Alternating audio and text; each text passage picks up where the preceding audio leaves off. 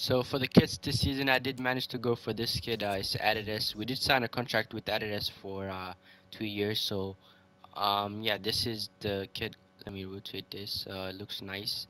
And this is our weight case. Of course, another Adidas kit.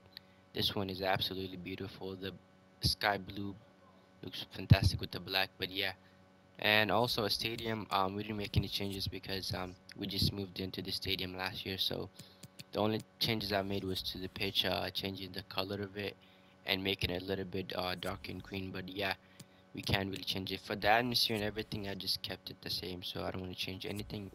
But yeah, that's uh, uh, those are the changes for the kit crest and the city. So this is how the team is looking like going into season three. Um, Stefan Marinovic there, but we will be doing a little bit of a shake up to the team. Uh, as you can see, this left hand side, this side is really weak. Um, so we'll definitely get a new left back, center back, and I'm not sure what we do after that. And we'll see if we can get offers for Collins or Hardy. We'll see um which, how much we can get for them if a realistic offer comes. But yeah, Bird might be on the chopping list as well. It hasn't been really uh great. It hasn't grown much. So we'll look at the right back position as well. A lot of changes. Um, definitely new goalkeeper since Stefan Marinovic did inform us at the last season that he will be going and will not be playing at the club for the forthcoming season.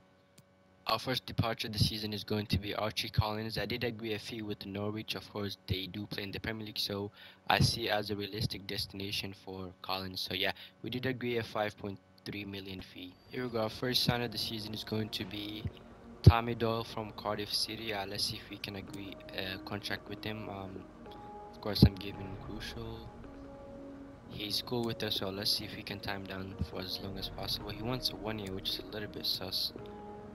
He doesn't believe in us but we'll see. Disregard release he wants 7000 which which is a lot. But to be fair is yeah we're gonna have to get used to this wage structure 9000 is still a lot of money but welcome to the club tommy doyle Yeah, it's time we check out our checkbook and start throwing money at people. But we did sign Tommy Doyle for 3.2 million from Cardiff City. Second sign of the season is going to be Jamie Cumming, the goalkeeper. Um, let's see if he can agree a contract with him. I don't know why he wants two, uh, one year. Ever wants one year for some reason. He is willing for two years. Um, let's see. No release clause as well. Hopefully he can. Oh, he want me to negotiate for him. Okay, I'll give him 5k, is that fair? I think I might have insulted him, I don't know. We'll see. Yep, that's a reasonable offer. I'm happy with it. Welcome to the club, Jamie Cumming. Well, there is the visual confirmation. We have signed in from that one team in Japan for 2.8 million there. Our third sign of the season is going to be uh, Bradley Loco from the free agents. So um, I don't really know what rating is. I just saw that he's a first team player, which means he's probably 69 to like 73 rating so let's see if we can agree with him. Um actually was looking through the scouts for like a left back a decent one. Is i don't know why but it's there there's been shortage of left backs. I've seen double the right backs than left backs but we'll see. He wants 3.7k that's fine with me. Welcome to the club uh bradley local also i was scrolling through the free agents and i found kate good. I'm pretty sure he's a liverpool like youth academy player so yeah. Let's see uh, if we can sign him out. I think yeah we definitely needed to find a right winger but he looks really good so hopefully he's between 70-ish rating. He wants 3.1 which is fine with me but welcome to the club uh, Kaide Gordon. We do sell Luke Brad unfortunately he's off to LAFC in the United States for 1.2 million. Stefan Marinovic is also off to the MLS uh, this time to New York City FC for 1.2 million we also sell Rory Baird, he's off to Defensor for 2.4 million. Our next player is going to be a right back signing, will be Thiago Almad, not Almeida from Spurs, so let's see if we can get the contract up he wants. He's on 25k, oh my days. I didn't even think about this. We might even not even reach a agreement in the contract, we'll see, but um, release clause, yeah, I'm good with it he wants 14.5 and 500k yeah this if he cannot accept less than 10k I think we got a problem. We got a big problem on our hands here. He wants 16k I can't pay that. Sorry I, I can't pay this wages kind of work but um he wants crucial. That's fine with me. Uh, we're going in for Calvin Ramsay, a right back of Scotland. So let's see if we can agree contract with him. I tried to go in for one other right back, and his wages were just too high. But yeah, he's cool with five years. Um, this is the problem, the wages. I don't know what to offer him. I'm just gonna slap 5k on the table. Please say you can agree to this. 5.1. You can throw in uh, removing I mean the bonus and let's see if you can agree to it. 5.2 you know what you can have it. Welcome to the club uh, Calvin visual confirmation. I did sign up from Bayer Leverkusen for 3 million on the door. for this season uh, they want us to avoid relegation. I'm not sure if we can do that. We'll try our best. Reach the round of 16 of the FA Cup though. That one is a very questionable. I will not be able to do that. Um, we already finished one of the financial objective which is cool. Brand exposure they want us to get 7 wins in this league which is doable in my opinion. Youth academy sign one player, play at least 30% of the next games. I'm not even going to do that, but those are the objective. Very doable against uh, Swan City. Really tough uh, fixtures to start off the championship season, playing the like of Southampton, uh, is that Brentford, and Nottingham Forest. So I'll be playing the game against uh, Swansea, um, Southampton, and potentially one or two um, against either Brentford or Nottingham Forest. this, but look, look at my boy Ellis Goodwin. He finally has the tag potential to be special, so he is going to be something special. Here we go to kick off our championship campaign. We'll be taking on Swansea City at home here. And this is how we line up. Jamie Cumming there, local playing the wings with Ramsay, Elliot Lister, Goodwin, Waidu, Tommy Doyle, Kaide Gordon, Hardy up top, and this is how they line up. Uh, they have Zach Grims, Matt Grimes, really good midfielder. But yeah, a really strong uh, Swansea side to be expected. But this is the first chance we had. A really good uh, shot from Ryan Hardy, testing the goalkeeper near post, but unfortunately did go out for a I think it was a corner he made the save but regardless in the 15th minute they do have another good chance um, um, great defender near post from Colin Ramsay as they come again. And this was another great save from Jamie there really showing why he should be the number one there. But to be honest there was nothing really um, between the teams just uh, testing each other both uh, offensively and tactically. But here we come again. Kaide Gordon with a good chance there again. It was called offside there. It's gonna take us a while to get our feet down in this uh, the uh, but here they come against Swansea City with a really good chance here. Again another great save from Jamie Cumming there to send it out for a corner, but we do concede the first goal of the game here. Um, terrible defending from uh, Colin Ramsay, the new right back, but yeah, still needs to learn a lot, but we do concede a goal here, and all of a sudden they have another good chance here, and a great goalkeeping from Jamie Cumming to send it out for a corner as we look to get our maybe our first chance of the game here. Again, it was great defending from Swansea City, just clocked. They're also playing the five at the back. Another one of those formation I actually hate playing against but I might consider going to five at the back just for this league um, but I I believe in the team. I think we can turn our turn around our form but we do consider another goal there. Um, I think it was one of the strikers he made it two here and it's to be expected you know. I came into this game maybe getting uh, I was like if I can get a point from Swansea City I'll be a happy camper but another terrible miss from Connor Smith there again. It's not the league is used to, maybe a league that's above his caliber there. Who knows, but it's just about getting form. You know, always at the beginning of every season, you know, I start off really rough and then pick up form at the end as they almost made it three there, but they both opposed that save us as we look to get maybe a consolation goal. Great defending from Swansea City here, and that's how the game's going to end. We do sort of fall last year against Swansea City. Oh my god, how much harder can the fixtures get as we take on uh, Southampton here? They got relegated from the Premier League, but look at that lineup though. They have Strakosha, really good goalkeeper, Livramento, Timo Weah It's really, really strong. I think that team could actually qualify for Europa League. That's how good they are. But to be honest, like uh, I don't even know what to say. Like the first few minutes of the game, were just all over us, and they do get the first goal of the game here in the 70th minute. Terrible defending, but Armstrong does make it. 1-0 here. For some reason, he just whipped out the Cristiano Ronaldo for um, his celebration. I don't know why.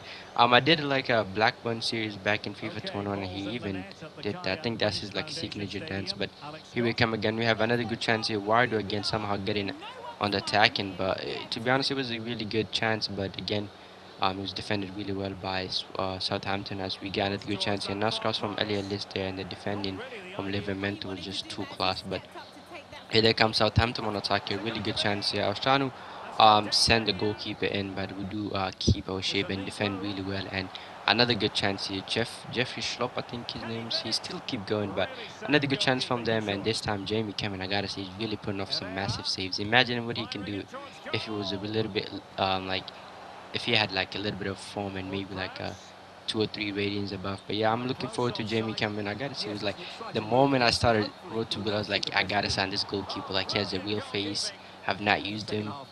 Really good, really good goalkeeper. Hopefully, um, he can be as we think. But we do. I think this was a penalty. Maybe yeah, maybe it wasn't. Okay, it was a free kick. I thought it was a penalty, but um, Brendan Wilder needs to be cautious there on the tackle. He could have got himself sent off, but it's a free kick. And the moment I saw James Ward-Prowse on that free kick, I had to put someone on the line. We know he can hit those free kicks, so yeah, probably one of the most prolific free kick taker in the Premier League. But yeah, really good player and Southampton's captain. Yeah, but again, we're just all over Southampton. But I'm really happy that against the Premier League side, we actually uh, keep the game a little bit too too close. So maybe we're getting chances, but it didn't really matter at the end as we conceded a goal here in the 73rd minute.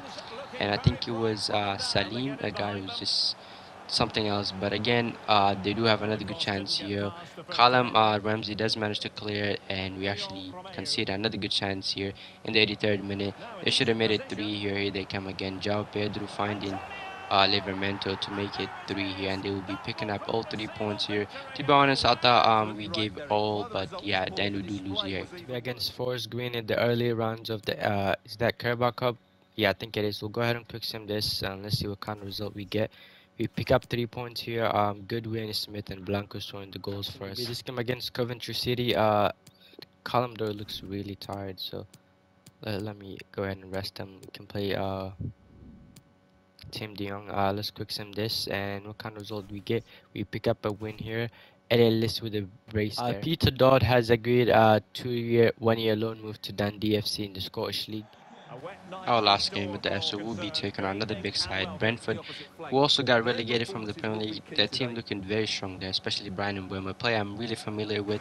Raya, um, Kristoffer Ajer as well is a really good player. I mean, yeah, they did get premier, uh, relegated from Premier so I'm expecting a bit of a challenge from them. But yeah, I think they're not even giving us a break, the fixtures. But yeah, I think next episode or the few episodes that's come, we should have a good chance of maybe getting some points against the um, championship stable sides. But here's the first chance we had of the game. Jamie Cumming is really pulling off massive saves there to send it out for a. I thought that was going to be a goal, but here they come again. Kristoffer somehow, I'm pretty sure he's a center back playing really up front there, and they do get the first goal of the game here, courtesy of Salim here. I think I've never heard of him, but good good for him to score the first goal. But here we come again.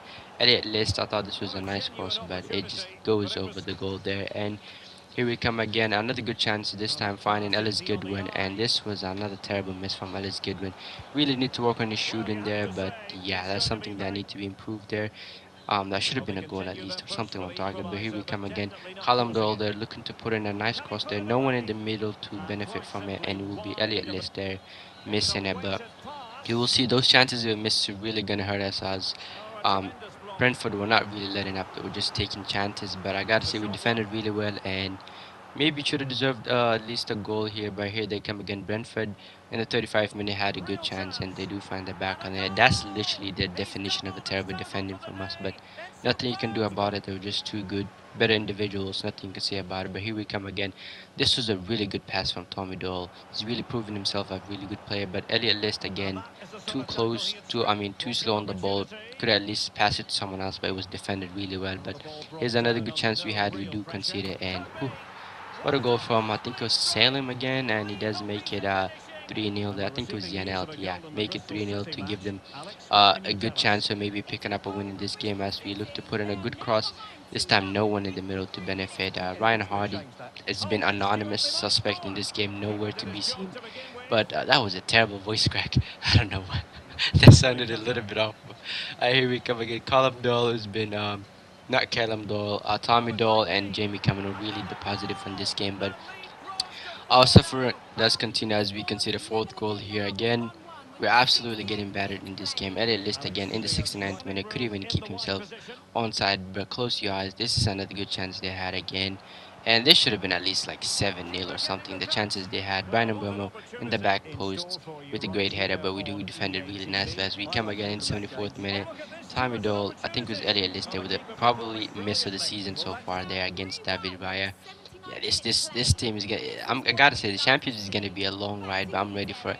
Here we come again, Bryan Mbeumo this time, just missing in front of the goal there, and in the 82nd minute, they hope they have another good chance here. Uh, for some reason, I just switched language mid-sentence to Danish or something, but uh, that was a little bit of joke. But here they come again, Bryan Mbeumo putting a nice cross here. We defend really well, but the rebound, that's fine. Uh, I can't say his name, but he does make it 5-0, and Brentford will be picking up all three points against us. Our next game at the episode is going to be against Nottingham Forest, which I'll be quick sim, and that's how the team is looking like. We desperately need our squad depth, I think. Um, what's his name? Uh, Sutton is not killing it, but yeah, we do lose here against to be expected. Uh, only goal in this season just to survive, but Gordon does score a goal and he missed a penalty there, I think, but yeah, who else got? Yeah, it's just Kate going with the race. Quick sim will be this game against Swindon Town in the EFL Cup. So let's quick sim this. Um, hoping for three points here, and we actually get. Uh, make this free agent sign Simon Albanos. Uh, he's just going to be a squad player. Um, he wants 1.8 rotation. That's fine with me. Welcome to the club, Simon Albanos. That's what's going to be against QPR, who's sitting 21st place. So yeah, I did make a few changes. Uh, Simon will be starting on the left mid position, and Sutton will be coming back for the left back position. Uh, let's quick sim this. I'm hoping for three points here against the relegation side. Like PPR, we do pick up three points. Ryan Hardy scoring. That was a bad hiccup, I gotta say. But Ryan Hardy did score the only goal for us in the 47th minute. I'm pretty sure that's um, Gareth Bale region, but let's see. He wants crucial, so which is a good thing. Um, let's make it five years. He wants 5 years, no release fuss, no problem with me. He wants 3k wages, let's move the bonus and we can call a deal here and he does agree. Welcome to the club, Yandel. Deadline, as you can see, we have spent, uh, let me pull it up, 9 million I think it was. Yeah, we spent 9 million profited 10 million there. I'll quickly show you guys the top deals around the world. Um, let's see. Florian Wirtz to Liverpool for 114 million. There, Mason Mount to Juventus for 99 million. Marcos Verratti to Spurs for 90 million. You know, some big transfers there. Um, Lucas Paqueta to Liverpool. I think Liverpool will be making big moves in this transfer window. So is Atletico Madrid there. But here are the transfers we made. A lot of transfers. Collins is off to Norwich for 5.3 million there. Um, we did sign uh, Colin Tommy Doyle replacement of uh, Collins for 3 million also Ramsay for 3 million from I can't remember the team. Um, Jamie Cumming for 2.8 million. Uh, we sold uh, Rory Baird to Defensor for 2.4 million. Sold Luke Brad to LAFC. Mitrovic to uh, Marinovic to New York City as well for 1.2 million.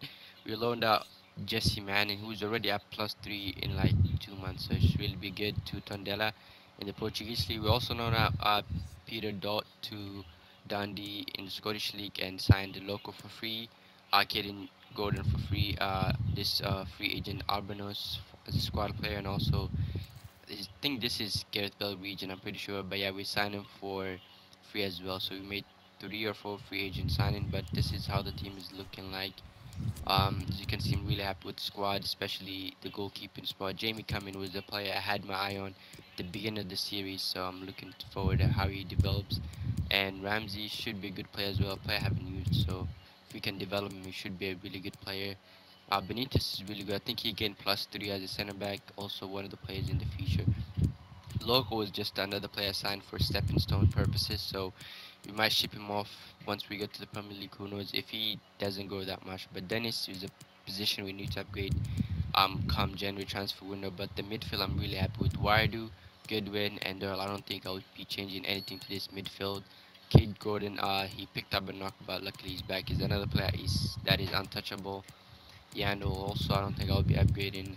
Um, Ryan Hardy, if he has a season he had like last season, I don't think we'll be shipping him. But yeah, this is how the team is looking like.